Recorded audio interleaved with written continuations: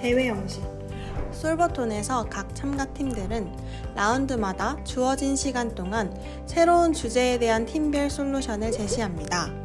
제시된 솔루션은 다양한 방식으로 평가받습니다.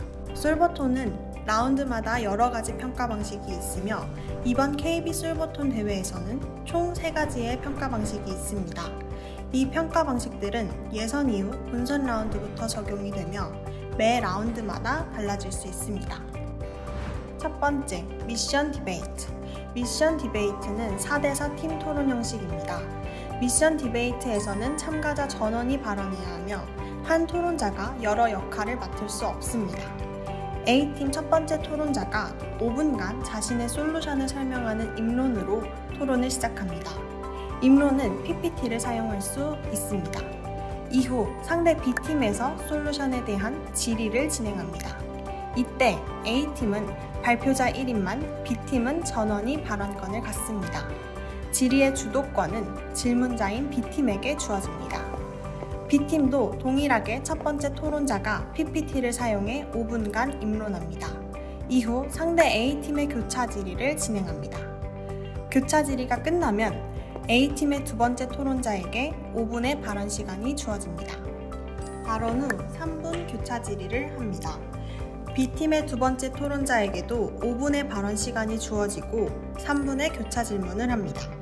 각 팀의 세 번째 토론자들은 두 번째 토론자의 진행 방식과 같이 발언과 교차 질의를 합니다. 최종 발언은 B팀이 먼저 진행하며 3분의 발언 시간이 주어집니다. 마지막으로 A팀의 3분 최종 발언으로 토론자의 발언이 끝이 납니다. 각 라운드마다 배정된 심사위원들이 토론을 평가하며 라운드 종료 후 평가 시간을 거쳐 경기의 승패 결과를 발표합니다. 두 번째, Mission Defense.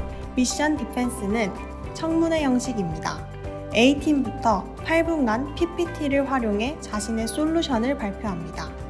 발표 후 상대팀인 B팀이 질의 시간을 가집니다. 이때 각 팀원 모두가 발언할 수 있습니다. 15분간 심사위원과 함께 A팀 솔루션에 대한 질의가 이루어집니다. A팀 심사위원 질의가 끝나면 B팀도 같은 과정을 거쳐 발표와 질의 시간을 갖습니다. 마지막으로 B팀과 A팀 순서로 최종 발언을 하며 참가자 발언이 끝납니다.